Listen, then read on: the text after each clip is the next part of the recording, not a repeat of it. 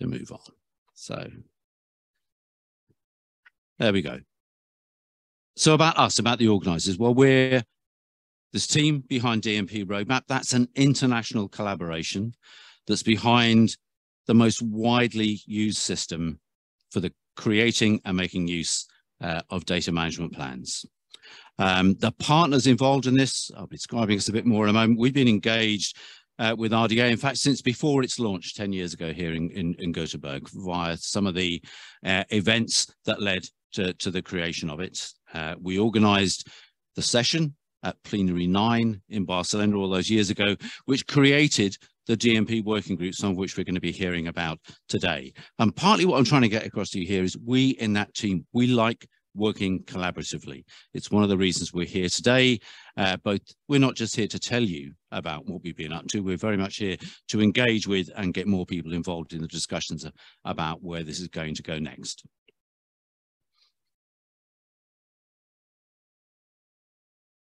So today we're going to hear a bit about how we got to where we are now, what it was it that led to this collaboration being put together, what's available now in this shared code base that we call DMP uh, roadmap, and a little bit more about how roadmap is being used to deliver lots of different services uh, around the world, a bit about what's planned for the future, a number of case studies from around the world, uh, and then really, this is where we're getting more to the interactive part of it, and we want to bring you all in. What should we be looking at next? Where should this go? What types uh, of, of, of use cases should we be looking at? And the results of that hopefully will inform the relevant RDA groups. There are a number of them uh, dealing with different aspects of data management planning, some represented in the room today, some not, but it will also involve our development uh, within the, the, the roadmap uh, effort. So our aim is that we want to start some conversations here today, but they're not going to end today in this room. We would hope to see effects uh, from those uh, visible in code uh, and services around the world. So a reminder of what uh, our program is. I'm going to be sharing things today. It's my responsibility to keep things uh, to, to time, to keep the conversation civil. So after the welcome from me, we're going to be hearing from one of the co-chairs of the Machine Actionable Data Management Plans Working Group, Thomas Miksa, uh, just explaining where the work in that group uh, is going now. Uh, then uh, my colleague Diana Sisu and I will be talking uh, about uh, the history and the present state of the DMP roadmap project. We'll then be hearing from our colleagues uh, at um, the University of California Curation Center, UC3, Maria Praetzellis and Brian Riley, about machine actionable DMPs in DMP Roadmap. Um, then uh, uh, a look uh, through the lens of a particular uh, project about the role of persistent identifiers in enabling machine actionable DMPs. Uh, then a short break. Those of you online will have to make your own arrangements for that. Those of us here, I believe there will be coffee uh, available. And after we have coffee, what could we do but go to Brazil to hear about the implementation uh, of machine actionable DMPs there. That's going to be one of two recorded presentations uh, today. Then Diana Sisu will talk to us uh, about one of the services, DMP Online, that's hosted by the Digital Curation Center that makes use of the shared DMP roadmap code base. We'll then be hearing from Allyson Lister in our second recorded presentation uh, of today uh, about the FAIRsharing service and how it's a content provider that enables machine actionable DMPs. But I believe a colleague of Alice, Allyson's is uh, going to be around today to be able to take questions uh, on that presentation uh, if necessary. Then uh, another of the services, uh, DMP Opidor uh, in France, Benjamin Faure is going to be talking about the use of machine actionable DMPs there. Then we're going to get into our discussion groups. That's going to involve all of us here today. We're going to stop listening to others. We're going to start making our own contributions. We'll want you to feedback. We'll say more about that when we get to the session. Uh, and then finally, uh, uh, I'll do a brief uh, wrap up. That program is also uh, available online. Those of you uh, in the room should have received, if you want to join the Zoom room as well, uh, to to to see what's what's happening in the conversation, do feel free to do that. Uh, if you do, do remember uh, to mute your microphones. Feedback is fun when you're in a heavy metal band. It's not so fun, so much fun when you're in a room like this. So as I said, I'm, I'm here to keep people to time, including myself. I've got three minutes left as far as I can see. Both the Digital Curation Centre and the Research Data Alliance have codes of conduct for events. And I want to remind you to respect the codes as they're linked there to the code uh, of the DCC. But really, more importantly than respecting the codes, the codes are about respecting each other. Uh, let's be kind to each other and respectful uh, when we're, we're engaging uh, in discourse and we're asking questions, when we're passing comments. It's not much to ask, um, but it's good to remind us all uh, occasionally. And more importantly, for those of you in the room, be aware, we have about 100 people joining us uh, online uh, uh, today. Uh, so we're going to be, I have some colleagues who are monitoring the online discussion are going to make sure questions or issues raised there are brought to us in the room today. But bear that in mind. Those of you online, bear in mind the fact we have about I think it's about 40 of us here uh, in the room uh, today. And again, for those of you who are physically in the room with us today. Lunch is available afterwards. Uh, we'd really encourage you to, to stay on both, not just to enjoy a free lunch, but also to take the opportunity to talk with us and indeed to talk uh, with uh, each, each other.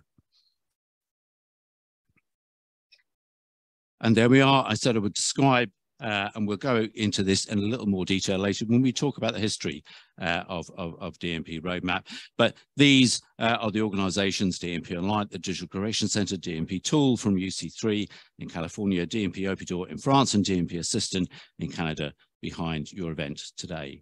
But now uh, I'd like to hand over to Tomasz Miksa, uh, one of the co-chairs of the Machine Actionable uh, data management plan working group here at the RDA is going to talk to us about the current state of affairs there. Thanks. Thank you very much for the invitation. Uh, I today I want to give a quick uh, overview of what MADMPs are and how we started. Uh, a warning, some of you might have seen these presentations in the past plenaries, but always to welcome the newcomers, I want to start from the beginning. And the beginning actually was in 2017 at, uh, at, at, at uh, in Edinburgh at the DCC workshop in a very similar setting like here when we all came together to discuss what we could improve with DMPs, how can we make the DMPs better.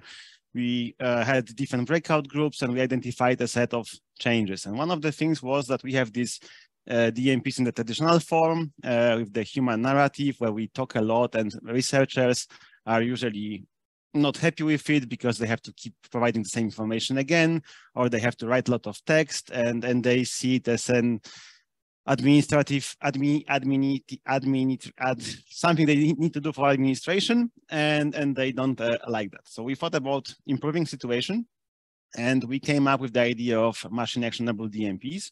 And if you look at the, at the workflow at the site, we uh, thought that we can automate a lot of things. Uh, for example, uh, if you look uh, how the researcher is creating the, the DMP, they have to go through these steps. So they have to first specify what data they are going to create. So telling us if it's going to be five gigabytes or, or 100 gigabytes or five megabytes if it's going to be a PDF or a JPEG. And then based on that information at the beginning, we could already suggest them some uh, actions. So for example, we can suggest them uh, where to keep the data, what is the right storage, what would be the right uh, repository for them, how much it will cost, what would be the best license to publish. And this is under the assumption that for the majority of researchers, there are some default actions in an organization or in the scope of the research activity. Of course, if you are special, you know what to do, but many people say, okay, I just want to have a CC BY license for my data and that's it. And of course, this includes including other stakeholders to facilitate this process. So we cannot only make researchers responsible for filling out the DMP, but we need to include the infrastructure operators to help with selecting the right uh, place for storage we have to include the research support early on that they can provide information on license.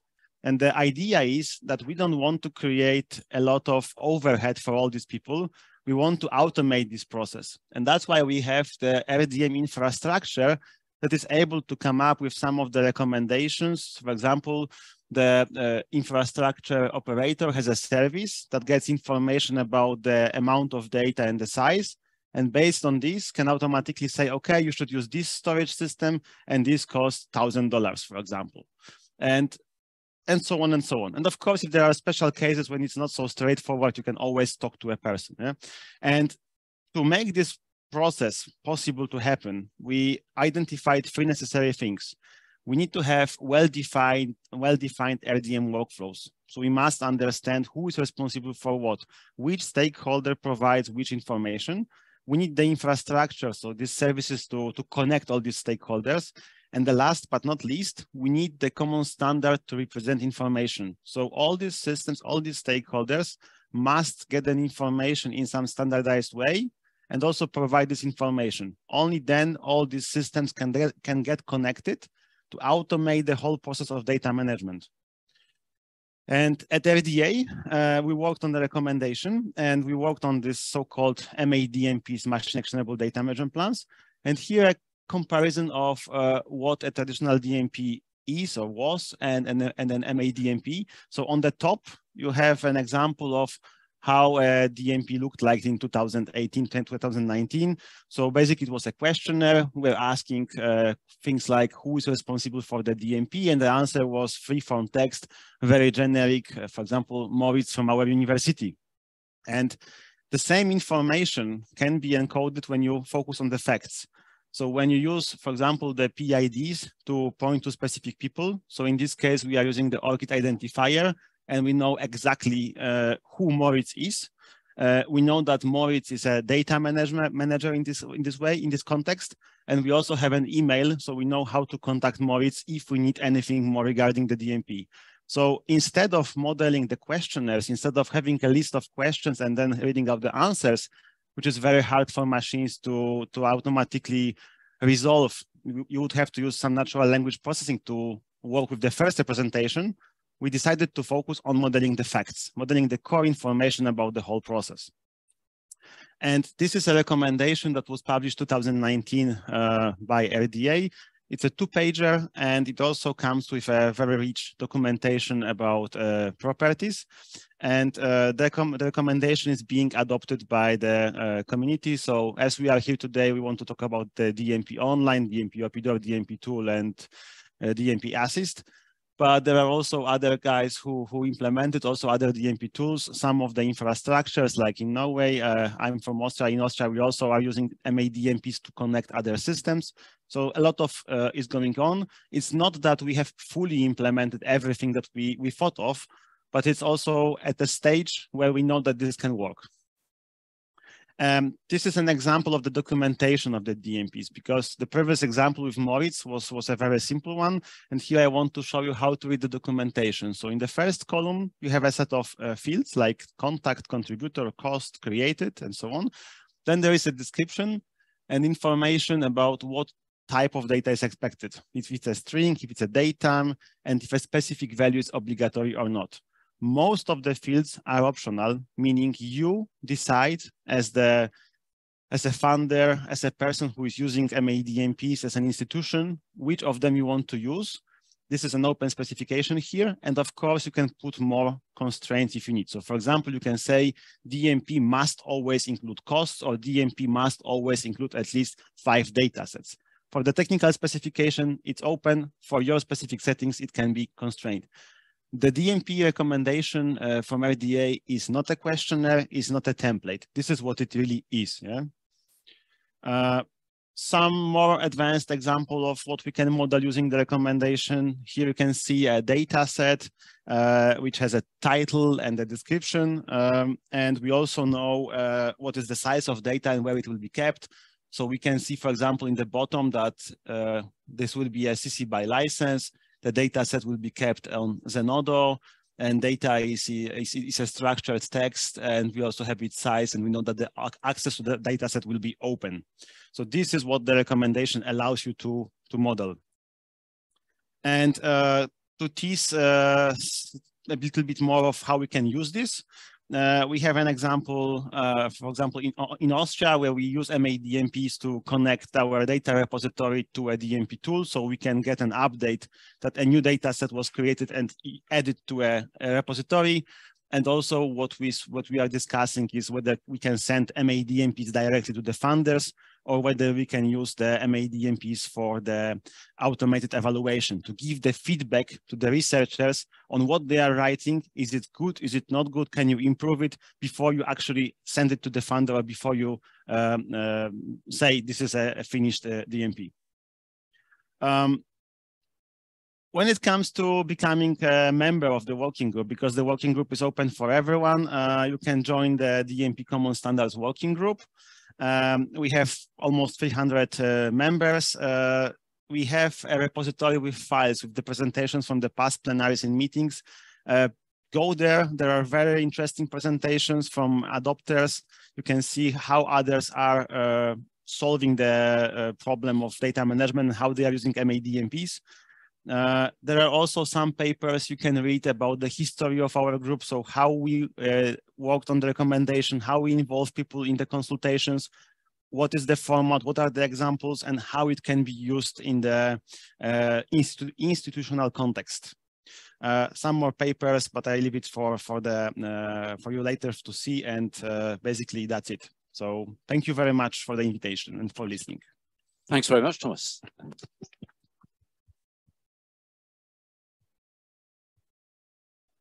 So you you you finished. I hope we've got time for a couple of questions uh, for you before. We, does anyone have any?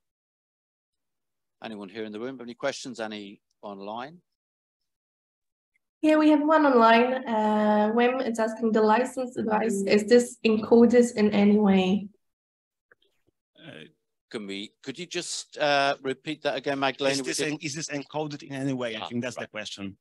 Um, yes, so we have in our repository, in our GitHub repository where the, where the documentation is provided, we also have JSON examples that you can work with. There is a JSON schema, and we also have an unofficial version of an ontology that maps one-to-one -one with it, but hasn't been yet officially endorsed by RDA. So you can also work with an ontology if you want.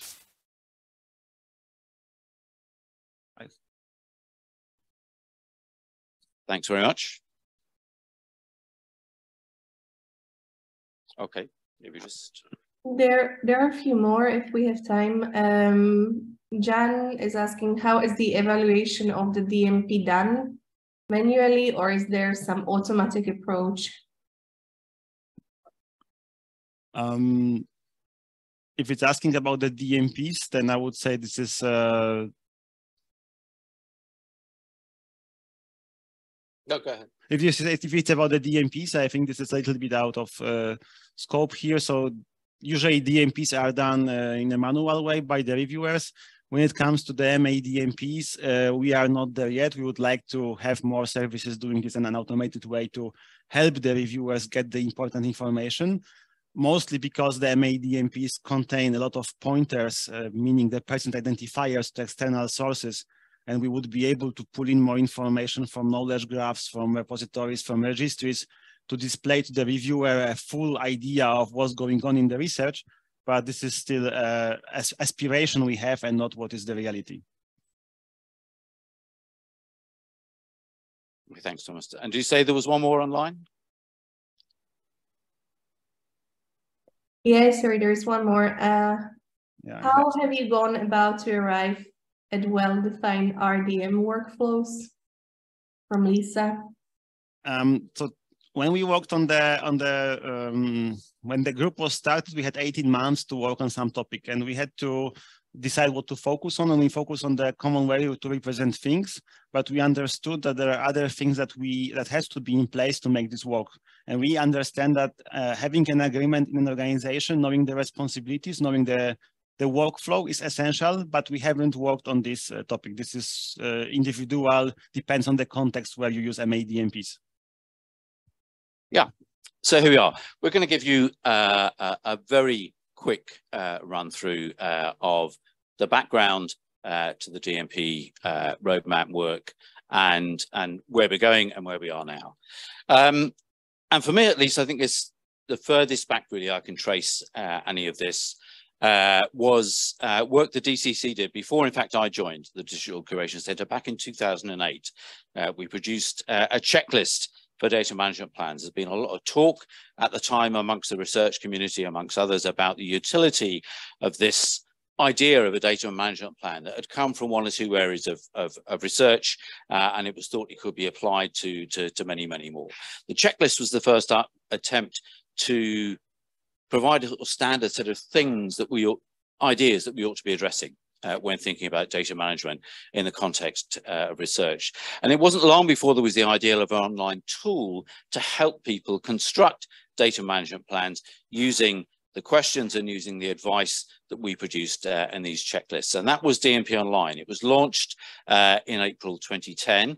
Given that the DCC then was funded by a UK body to support UK universities, DMP Online itself was focused uh, on funders in the UK. But from the outset, we wanted to make sure that we weren't just solving a small national problem. We wanted to make sure that we had a solution uh, that would work in a wider context. So uh, colleagues there at the DCC made sure uh, that we were also able to generate data management plans in the format required by a couple of US funders, including the National Science Foundation. It wasn't long after we'd done that that we were contacted uh, by colleagues uh, at UC3, the University of California Curation Center. Patricia Cruse, then its director, contacted me saying that they were also looking at producing uh, a tool like this and was there scope uh, in collaborating. That began uh, in 2011. Uh, initially, it wasn't collaboration about code, it was collaboration about concepts and ideas. What were we trying to do with these sorts of tools? What sort of support did researchers need? What other people needed to engage in the construction and the reviewing uh, of data management plans? And how did we interface uh, with the funders? It wasn't long after that, indeed, of course, in 2013, 10 years ago here in Gothenburg, that the Research Data Alliance uh, was established. And it was at its third plenary in Dublin that the first discussions happened about the creation of an interest group on active data management plans, on moving beyond what these existing services have done to creating what we now know of as the active data management plan. That group was established uh, in 2016, and it was about the same time that the group at UC3 uh, and, and the DCC decided to bring together what had been two separate uh, systems, two, two separate pieces of code, and go forward with a single code base. That was when we invented the, the, the concept of DMP roadmap. Um, uh, and uh, that took place at an International Digital Curation Conference. It was about the same time that the University of Alberta had been using DMP Online to establish uh, their service, DMP Assistant uh, with support from the DCC. That itself then became part of Portage, a national service supported by research libraries across Canada, which is now uh, subsumed uh, into services provided uh, by what we now know as the Alliance uh, in, in, in Canada. And it was at RDA P9, as I mentioned before, in Barcelona, that we had the session that established three separate working groups under that active data management plan uh, interest group, including uh, the MADMP group that Thomas has just uh, presented about. And by January 2018, that effort to bring together these two services uh, had now reached fruition uh, and all of the online services uh, that use DMP Roadmap were now using that code base. And I'll now try and talk a little bit about that distinction between this shared code base and the different services, the manifestations uh, of it. So DMP Roadmap describes the thing that a bunch of contributors around the world share, but we use it to provide quite different services. I mean, services that might look different at first sight, but also services that are operated uh, in different ways. And that has some effects, I think, on how we consider what we're trying to do with machine actionability, who uh, can, can carry out particular tasks, uh, and, and, what our motivations are. So DMP tool, I think, correct me if I'm wrong, primarily a collaboration between US universities, but really led by you folks at UC3, but there are others uh, who work with you to keep that service uh, uh, going. DMP Online in the UK is a subscription service. It's free to use for researchers, but we sell additional services on top of that to institutions, to funders, to national bodies. DMP Assistant, uh, on the other hand, is a funded national service from Canada provided uh, from a single place. DMP Opidor, uh, a portal for data management uh, in higher education institutions in France. And I confess I'm not entirely sure how that's is that funded as something national or whether that's something that you do out of the goodness of your own hearts, uh, uh, as it were. Be interesting to hear more uh, about that. And, and those names characterized, those are names of services which are quite distinct uh, from the, the service provided by the deployment. And, and we protect, I think, the distinction between those services jealously. Indeed, you know, we trademark DMP online. You can only call your service DMP online if we give you the okay to do it, but you're happy to take that open code base DMP roadmap uh, and do what you want with it. And in fact, there are many other people using that shared code base, more in fact that we can track.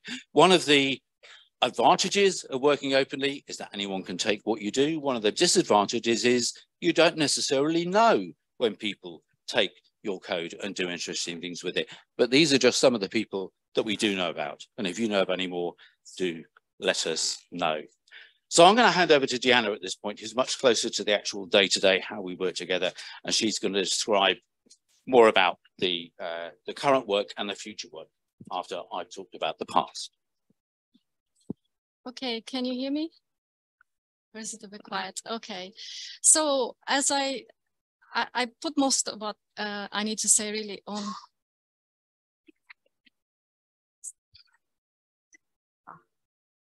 Okay, is that better? No, can I use the big microphone?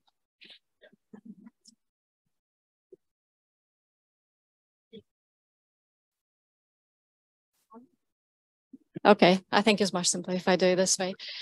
Okay, so um, as Kevin said, I'm going to give a brief uh, overview of how we work together. Um, in the previous slide, um, picking up from Kevin, you see at the top what we currently regard as the main contributors. I haven't selected anybody in particular. So uh, uh, on the bottom line. I haven't selected anybody in particular. I just went DMP online, DMP roadmap, and just came across uh, uh, various incarnations. So it's DMP online, DMP tool, DMP Opidor, and I remember Benjamin approaching us and, and wanting, oh, how do you do this? How, how can we implement it? Um, and then DMP Assistant in, in Canada, uh, they also uh, contribute quite a lot. They take part in our monthly meetings. And then, as I said, there are national service, uh, I'll, I'll, talk about this later, but for example, there are national services like DMP Toolie, which we create um, uh, based on, uh, uh, I mean, it's still based on the roadmap code, but we go via, mostly via what's available on DMP Online. Okay, um, there are national services like uh, SUNET, but they take a different format, and that's more like um, uh, the multi-tenancy format. I'll talk about that uh, in in a later presentation where I give an overview how DMP Online runs and what services we offer. It's going to be a very brief overview. And um, then you can see at the bottom, um, for example, two incarnations of it, one in uh, for universities in Catalonia, one for uh, just two in Spain, I found, one for uh, a consortium of university libraries in Spain. And this one is uh, one of the latest and nicest surprises uh, from Brazil. And we're going to hear a presentation on this later in the program.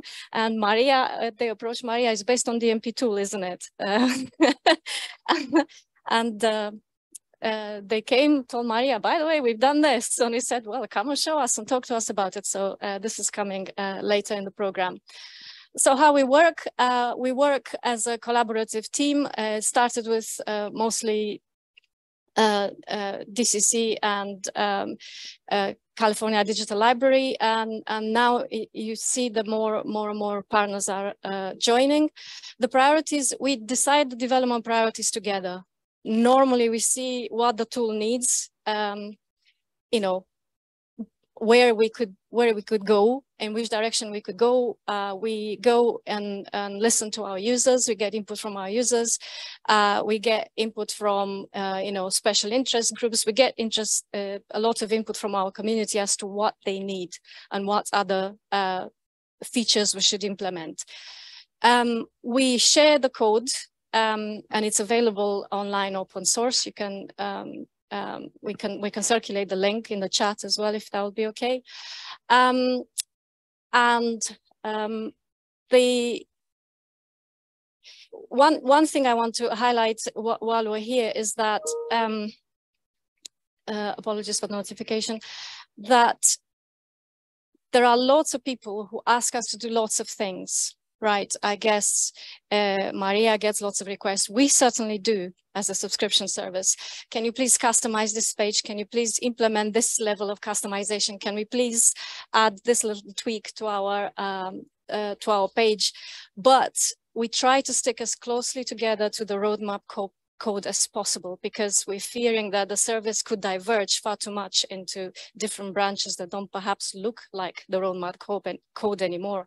And we want the main tool to still work so that people can download it by people I'm in the community out there, you know, if somebody in, in Argentina decides they need a national service, we want them to be able to download the roadmap code with all its features and uh, use it use it all. So that's why we sometimes try to stick together and we say to our users, particularly in DMP Online, wait a minute, we need to check with the roadmap team whether this will work. Okay, so the current priorities, again, they're available. You can see the link there. So the current priorities machine actionability. We think that the tool provides most of the features that you need to create a data management plan. Um, but um, what we've recently added are uh, the research outputs tab, um, we've given a demonstration of this and I'll, uh, I'll show a bit later um, a little bit about it and what it's meant to do, but uh, it's certainly available in the DMP roadmap code. We're currently implementing it in, in um, DMP Online. Integration with the Registry of Research Data Repositories. Uh, I think this is available um, already on DMP tool. Uh, we're looking for greater integration with uh, FAIRsharing we're trying to implement uh, plan versioning. Our users have asked us for uh, the ability to create versions of the plan. This is kind of difficult for those who are familiar with the tool. This is kind of difficult for plan phases. Plan versioning, people want uh, users, end users, researchers have asked us, can we please have a version of the plan, plan before we received feedback from our research manager and after can I also have a version of the plan that I've actually submitted to the funder? and I think, okay, we can, uh, uh, I think we can do this, but we need to be careful how many versions we, we create here. So we're currently working on that with our uh, user group.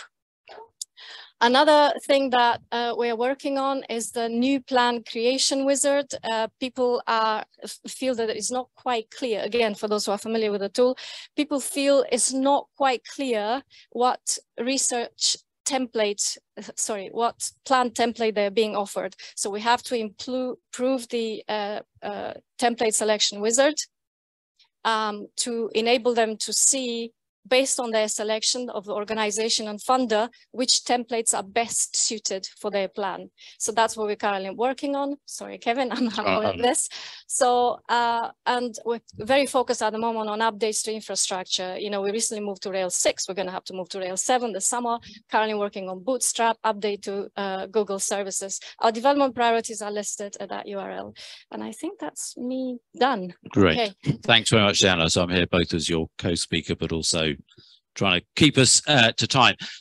Hi, everyone. Um, it's so great to see so many people here excited about machine actionable DMPs. Um, so I'm going to talk about uh, what we're doing uh, with the DMP tool um, to build machine actionable DMPs. A lot of the things I'm going to talk about are things that we have built somewhat recently and some things that we are aspiring to do, but this is very much a work in progress. We have, as Tomasz was kind of alluding to, we have a lot of big ideas about what we want machine actionable DMPs to be able to do, but a lot of sort of infrastructure work to get us there. So I'm going to talk about kind of what we're doing uh, with DMP tool and roadmap to help move that along. So I'm with the California Digital Library um, in the UC3 department. My colleague Steve Diggs is in the back there. Um, he works in data publishing. Um, I work in research data management, so primarily working with DMP tool, um, but we also do a lot of work around persistent identifiers. So one of my colleagues um, is one of the core folks involved with ROR, the research organization registry. So although we're based at the University of California, we have a lot of initiatives initiatives that are very international in scope. And so DMP tool, I don't have to go too much into this. I think um, Kevin kind of talked about it already. Um, the things to know about us is we are a free tool. we are very small staff. I have one developer and me, and we support a large number of institutions. So we've got 377 universities, medical centers, laboratories that use the DMP tool. And the way we keep that going is through collaborations like Roadmap um, and also by having a very active user community that helps me keep things up to date. Otherwise, it would be impossible to support that number of institutions all using the tool. Um, so really diving in to talk about what we have in the tool currently supporting machine actionable data management plans. A lot of our work has really focused on the use of identifiers, structured metadata using the RDA common standard that Tomasz talked about. That was really formative in helping us make that first step towards machine actionable DMPs. Um, so really what we've done at thus far is structure the data management plan, use the common standard. We created DMP IDs, um, so persistent identifiers uh, for data management plans. I thought I saw Christian, who was very um, from DataCite, who helped um, us sort of establish the first persistent identifier for data management plans, I think two years ago. Um, we've got RORs, funder registry IDs. Uh, we use re3data, like Diana mentioned, and ORCIDs. Um, so just a few examples of some ways in which we're doing things in the tool. Um, all researchers, when they generate a DMP ID in the plan, it's automatically linked to their ORCID profile. It shows up as a work on their ORCID profile. They don't need to do anything extra. It's all connected as soon as they register their plan with a persistent identifier.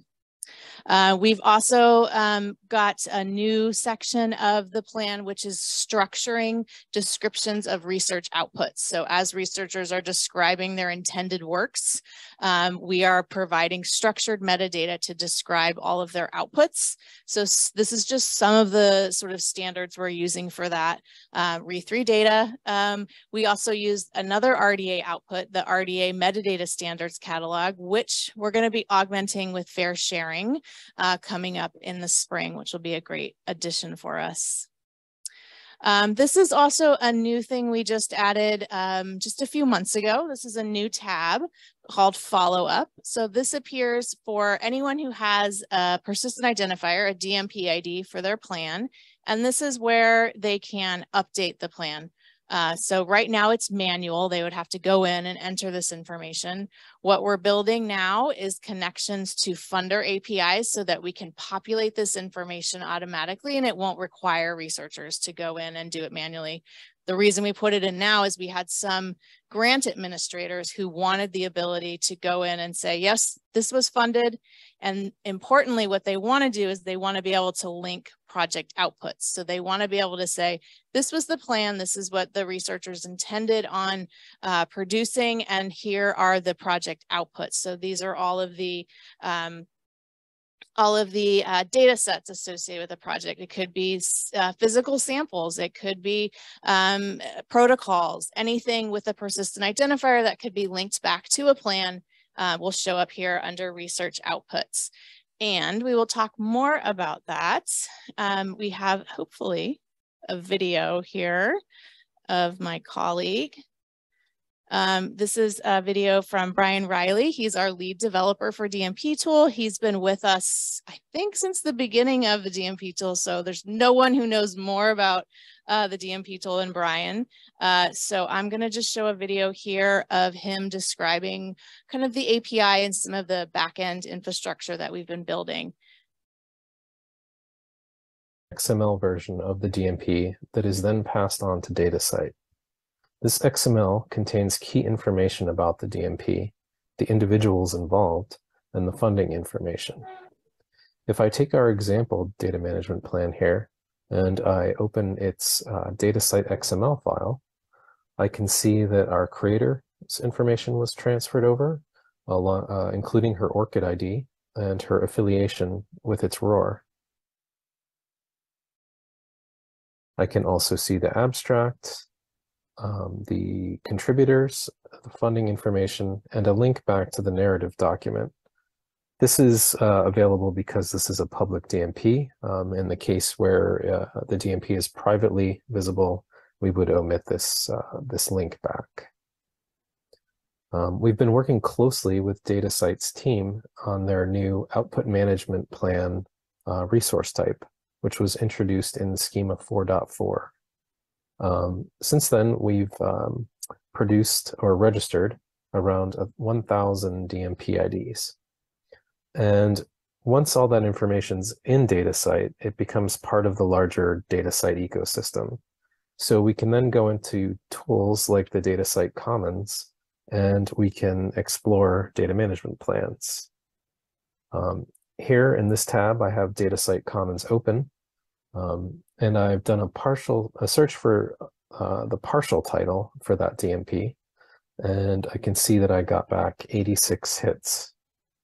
Um, if I scroll down though, in the work type facet, I can see out, output management plan as one of the uh, available facets. If I click that, um, it filters down to uh, the data management plan that we've been looking at.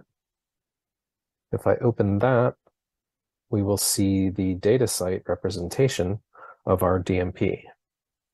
Um, this includes the title, the abstract, uh, a link back to the landing page, um, as well as the creator, uh, the list of contributors, and the funder.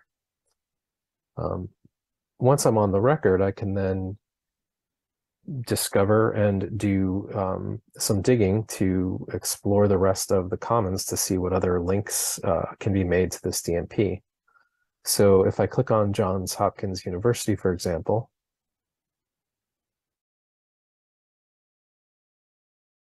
and I scroll down to that work type facet again, I can see that they have nine other data management plans.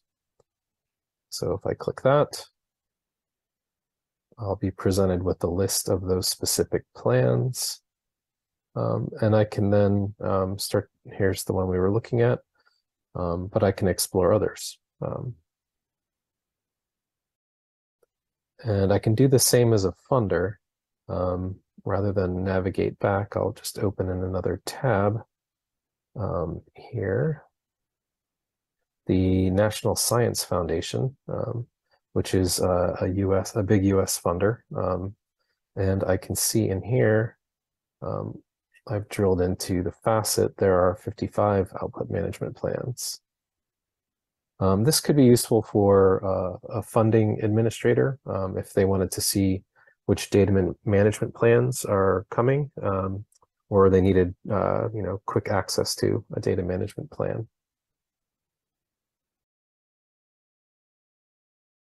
So we have also begun to add the DMP citation to the owner's ORCID record.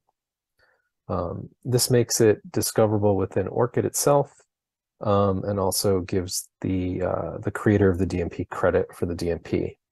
Um, if I click on uh, our creator's uh, ORCID record here, I will be brought to her works page, where if I scroll down, I will find our DMP, um, which includes a link back to the landing page. Um, and if I expand it, um, the abstract and uh, the title. I should note that users have the ability to remove these from their record um, at any time. So as part of all of this work, we've developed a new API, um, a, well, uh, an extension of the original uh, API v1, which we're calling API version 2. Um, this API uh, uses the OAuth 2 standard for connection. It still supports um, the use cases where a user would like access to their DMPs or an organizational admin would like access to their, their users' DMPs, but it's more focused on external system integrations. And we do that by using the RDA common standard um, JSON format to convey our information. We have a few um, additions to the common standard. Uh, notably, we include affiliations for our contacts and contributors, but we also include other um, DMP tool or DMP roadmap specific information like which which DMP template was used to create the DMP. Um, one such example of uh, an integration um, was a recent one done by the RSpace team. Um, space is an electronic lab notebook, and their users had a desire to import their data management plan directly into uh, the lab notebook. Um, this would keep this would allow them to reference the DMP more easily from the space in which they were doing their actual work um, for the you know research project. Um, I can share a few screenshots of that. Um, this particular one is uh, an example of um, the uh, OAuth 2 authorization screen that the users presented with when they want to enable this integration. Um, so within the RSpace tool, they would click on a link to um, enable the integration. Um, the DMP the tool would then ask them to authenticate and then authorize um, RSpace to access their DMPs. Uh, once they've done that, um, within RSpace, they're presented with a list of their DMPs and a button to import the PDF document. Um, once they've done that, um, they can continue with their work. And when it comes time for them to submit data sets, um, RSpace has created an integration where um, if the user um, submits their data set into Dataverse, it will notify the DMP tool of the Dataverse DOI. Um, and that's done automatically for the user. Um, it comes back to the DMP tool. The DMP tool's record is updated and that information, like this example, appears on the landing page. Um, this is great because the user then doesn't have to go back into the DMP tool um, long after they've you know finished creating their DMP. Um, but an administrator can go in to look at this information and see the connection between the DMP and the actual uh, resulting outputs. So our API um, is documented and available on our uh, GitHub wiki. Um, we welcome questions. Uh, we also uh, welcome any ideas for integrations. Um, so please contact us. Thank you back to my slides. Um, so I'll just keep going in the interest of time. Um, just a few things I wanted to wrap up with. Really, our focus on development right now is supporting our users who are really responding to increasing federal mandates for data management plans and mandating data sharing um, for all federal grants. Um, we're hearing from a lot of our um, DMP tool administrators um, in terms of the library staff and grants administrators who are looking for ways that they can track research that's going on at their institutions so that they can demonstrate where that research was eventually shared. So there's a lot of questions around what is compliance going to be looking looking like um, at institutions. So we're using machine actionable DMPs as a way to give administrators insight into one, what's happening at my institution right now, what research is happening, and two, where is that data all going? Where is it eventually um, going to be deposited? So we're doing that by building on machine actionable DMPs and specifically by working with open, open metadata, open infrastructure, and DOIs specifically. Um, so I'm going to skip to the end in the interest of time, looking at some specific features that we're building right now. Um, one, we're building the ability to upload DMPs into the DMP tool so that we can generate persistent identifiers for them. This is important because we want to give as many DMPs persistent identifiers as possible, but we know some uh, some researchers don't want to use DMP tool. They already have, they know how to make a DMP, they don't need guidance. They use the same one maybe for multiple funders. So this is a way they can generate um, persistent identifiers for those plans. Um, we're also building some new dashboards for administrators that can help administrators track what's research, what research is happening at their institution and see where it's going. So visually, we need some dashboards to demonstrate that. We're also working a lot on our API, both our API and then connecting to external APIs so that we can bring some of that metadata in, save researchers from having to enter data in multiple times, and also to keep things updated over time. So we're connecting mostly to funder APIs and open science graph, um, research graph APIs as well.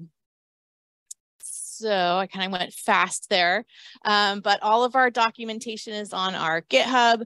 Um, we blog about this uh, from time to time as well. And I think I might have like just a few minutes for questions. I'm not sure if we went over or not, but. No, no, we do have just a couple of minutes. Thanks very much uh, for, for, for doing that. And uh, indeed, thanks to uh, Maria and to and to Brian virtually uh, for that presentation. So yeah, about three or four minutes. Um, we can take some questions.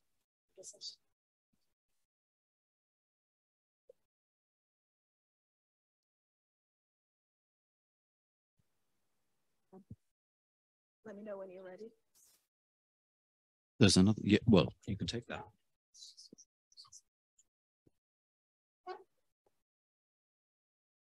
Just, just use that one for now. Hello, thank you for the presentation, this one and the previous one. I don't have a question, but I have comment for both of you, the RDM app and the DMP tool. I noticed that you don't include a citation file in your GitHub repository. So um, something that it is interested about the data management plan is the connection with software management plans. And in software management plans, the citation file is kind of a recommendation. So I'm just want to make a comment that maybe it's a good idea to include Thank it you. Yeah. tools. Yeah, that came up once before and we never did it. So I appreciate that. Noted. Thank you. Uh, is, this, is this thing working? Yeah. Okay. Is it? uh, hi, yeah, I just had a question about access. So that was brought up a little bit in some of the earlier presentations as well. Um, and seeing that you can upload DMPs publicly, which is great, of course, but in so the DMP has multiple sections, of course. And so right now we're kind of talking about it as a whole entity, but maybe there's sections that you want public and sections you want private, because especially the part during research, maybe you don't want your infrastructure public for good reasons, security. Uh, I'm wondering how is that, I didn't see that covered, if that's something that is being considered in the roadmap to be able to publicize yeah. certain sections and keep other sections private. Yeah, well, the way it works right now is you can get a DMP ID for a private plan. And what it exposes is high level metadata. So it would expose who the who the PIs are. It would expose like the project start and end date. Um, it would expose um, the basic metadata about your outputs, but the narrative part like if you had a description of your infrastructure or your security practices would not be exposed. Um, if you had a publicly available plan all of that would be exposed. We don't have the ability to be granular right now. I could see that being useful. Um, but right now it's pretty much you can get a dmp for a private plan and it's just the, the, the basic metadata. Yeah no no i i didn't cover it but yeah good question yeah. Go ahead. I have a question. So probably I missed it, but so you can search for other DMPs, right? But can you uh, also make use of these uh, DMPs and integrate parts, granular parts of the DMPs from others in your own DMP? So we have a, pub, a public plans, if I'm understanding you correctly, uh, we have a public plans page where if a researcher has made their plan public, it will display and it's searchable. So I could search by fund, usually people are searching by funder. Um, so it would display all of the, um, say, NIH plans. Um, and then people, researchers definitely do borrow or reuse certain sections. But how? Is that can I just take it and it isn't then integrated or how is it possible? Yeah, I mean, we have an API, so people could build on that. They could build an external system that did something like that. Um, we right now we expose it as an API. We have a like a, a web page that you can actually search and see them as PDF files and grab what what information you want. So um, I hope that answers your question.